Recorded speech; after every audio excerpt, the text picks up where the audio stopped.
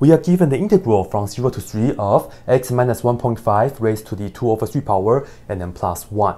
And if we use a calculator, we will get about 5.3587. And in this video, we will compare the midpoint rule and the trapezoidal rule when n is equal to 3. And let's see who wins. Alright, so let's go ahead and get started. So perhaps let's compute the delta x right here, which is just b minus a over n. Well, a is 0 and b is 3, so we have 3 minus 0 over, and we set it to be 3. So this right here is equal to 1, right? And right here, of course, let me just indicate that f of x is equal to this right here, which is x minus 1.5 raised to the 2 over 3 power and then plus 1. And uh, again, you don't really have to draw this function. Let's draw a number line though, and we are looking at the interval from 0 to 3. So I will say this right here is 0, and this right here is 3. And we have to cut this into three pieces because as we discussed earlier, n is equal to 3. So let's just go ahead and put like this and that right here. Of course, we're talking about 0, 1, 2, 3. Alright, so let's get started with the midpoint rule, M3. First off, we will have to use the delta x, which is just going to be 1. And then, remember, we have to find the midpoint of all this right here, right? So the middle of this and that is just 0.5.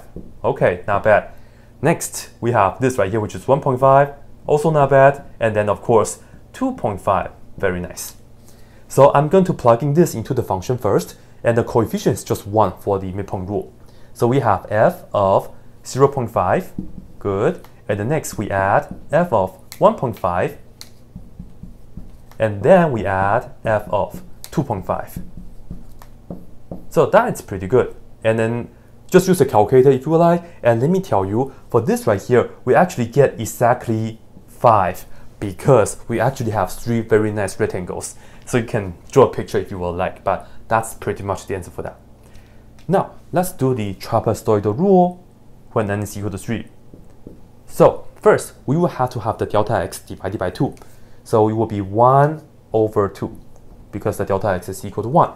And then, remember, the coefficient for the first term is 1, so we just have f, and then we'll be using this for the x values. So the first one is 0, and then we add the coefficient in the middle will be 2, right? So we will have 2 times f of the next x value, which is 1, and then 2 times f of the next x value. And then for the last one, the coefficient is also 1, so I'm just going to be plugging uh, f of 3 right here. And uh, that's it. And if you use a calculator to do this, you will get approximately 5.5703. So, ladies and gentlemen, have a look. Which one is better? Is this still midpoint rule? No. This right here is better. Oh my god, let me tell you. It took me so long to come up with this example on my own that I I was so happy that I finally found an example that the midpoint rule, the sorry, the trapezoid rule is actually better than the midpoint rule. Yeah, and this example is not like a, boring one. It's actually a very interesting one. It has a curve at least.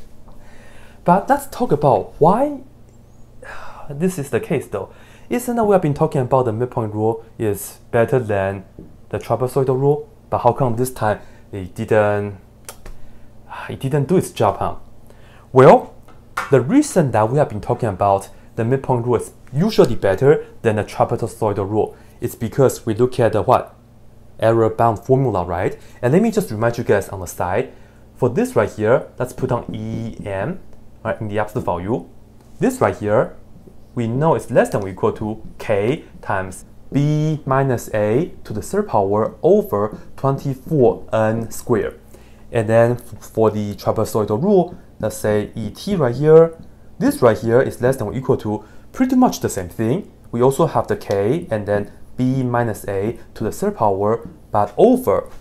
Instead of the 24, we only have 12, and then we have n squared. Well, as you can see, right here, the denominator is bigger, therefore the whole thing is smaller. So the idea is that we are making a smaller error that means the midpoint rule should be better most of the time.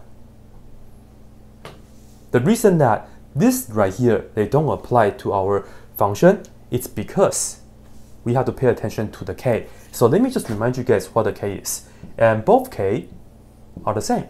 Remember the k is the maximum value of the absolute value of the second derivative.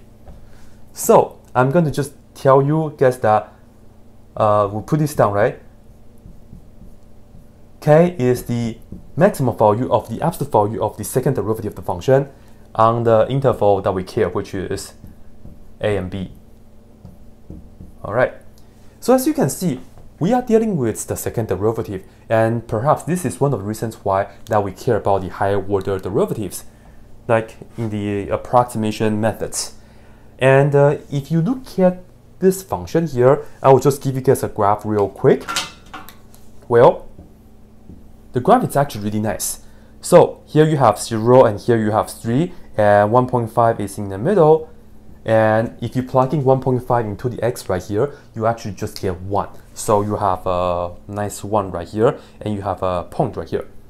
Graph that, you're going to get a bird, like looks like this. Yeah, that's what I mean, like a bird. Then you, you go to the beach and you draw the, you know, like the picture, you have the sun like this, and then you have the ocean like this, and then you have the birds. Yeah, that's what I mean.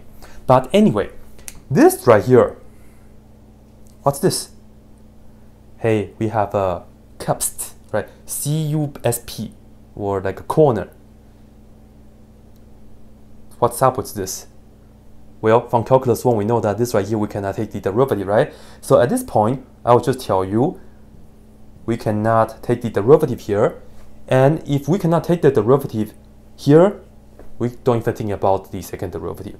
Let me write this down as this right here is not differentiable, so I'm just going to abbreviate that as not dable. The first derivative doesn't exist, don't even think about the second one. And if we don't have the second derivative, let me tell you, these formulas, these error bound formulas, they don't hold anymore. They cannot promise anything anymore. That's why we had a chance that the trapezoidal rule could be the midpoint rule, and it actually did. So that's exactly what I did oh my god, I was so so so happy that I finally found out an example for that and an example that actually has curve. Yeah. And if you guys want to see how I came up with this, you guys can check my other video. And in the next video, I will also show you guys another example that the midpoint rule beats the Simpson's rule. It also took me a while. Actually, it was by accident that I found out that example. So go ahead and check that out. But anyway, as always, that's it.